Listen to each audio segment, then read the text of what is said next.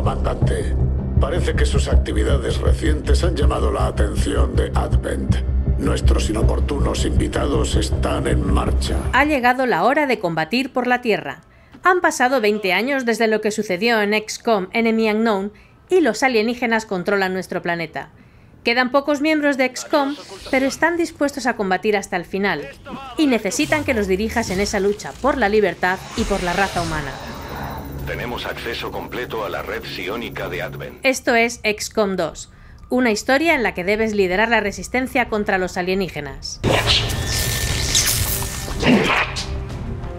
A la hora de jugar se mantiene la estructura del primer juego, con dos partes bien diferenciadas. Por un lado la gestión de la base y por otro las misiones de combate.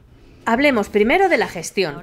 El centro de mando es una nave, la Avenger, con la que te mueves por todo el planeta para contactar con los grupos de la resistencia, ayudarles y extender tu influencia para conseguir más suministros mensuales. En tu nave, por ejemplo, creas nuevas salas, asignas investigaciones y desarrollas el equipamiento para mejorar a tus soldados, pero siempre sin perder de vista los recursos con los que cuentas, porque no te llegarán para todo lo que quieres hacer, así que hay que decidir con mucho cuidado las prioridades.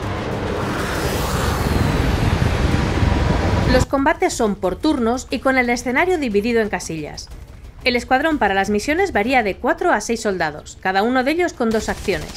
Puedes usar una para avanzar y otra para atacar, o las dos para avanzar, aunque siempre es mejor que unos vayan cubriendo a los otros. Dicho así, parece que no ha habido ninguna evolución desde el juego anterior. Pero no, las clases que había se han rediseñado y se han incluido otras nuevas, Además, ahora tus soldados tienen ataques cuerpo a cuerpo y son bastante poderosos. Los enemigos ya conocidos también se han reequilibrado y han cambiado su manera de atacar. Y hay unas cuantas unidades nuevas muy interesantes y complicadas, lo que te obligará casi a aprender a jugar de nuevo. Los mapas son mucho más interactivos que en el primer XCOM, y puedes destruir muchos objetos, y hasta usarlos a tu favor provocando un fuego o la explosión de un coche.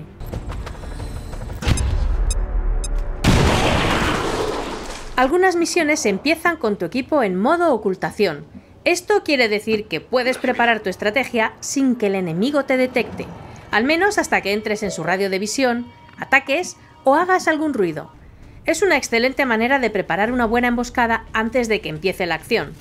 Está muy bien cuando el plan sale como has previsto, pero no siempre es así, porque no puedes decidir a quién quieres que dispare cada soldado cuando está en modo alerta y porque estamos hablando de XCOM y puede suceder de todo. El juego es muy difícil, tal vez demasiado. El modo normal ya es de por sí un reto muy complicado desde el principio, y los porcentajes de acierto parecen mucho menores de lo que indica la pantalla. Cada cierto tiempo se activa un evento oscuro, que son las acciones de los extraterrestres para ponértelo más difícil aún. Puede ser un ovni que te persigue para que te muevas y dejes lo que estabas haciendo, o una represalia contra una base rebelde en la que debes intervenir para no perderla. Normalmente hay varios eventos oscuros a la vez, y una vez más, debes decidir qué misiones priorizas y qué evento oscuro intentas frenar. El proyecto Avatar añade un medidor. Si se llena, los alienígenas ganan la partida y la humanidad la pierde, así que debes intentar que no suba. Por lo que he podido averiguar, su alcance es mucho mayor. Para meterte más presión, vas contra reloj. Con todo esto, el juego es muy intenso y hay un constante tira y afloja entre las fuerzas colonizadoras y tus tropas. No hay treguas en esta guerra. A nivel gráfico, el juego se ve muy muy bien. La interfaz es elegante, los modelados son sólidos, los escenarios tienen muchos detalles. En general, el aspecto artístico ha mejorado mucho respecto al primer XCOM. Pero también hay muchos bugs, como cámaras que se vuelven locas, el que puedas disparar a través de objetos o algunos tirones, sobre todo cuando sales del modo ocultación.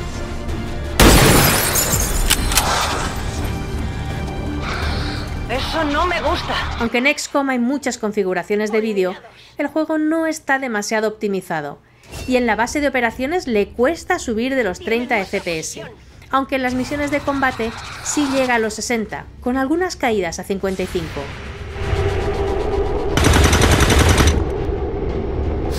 La banda sonora es potente, aunque tal vez poco variada.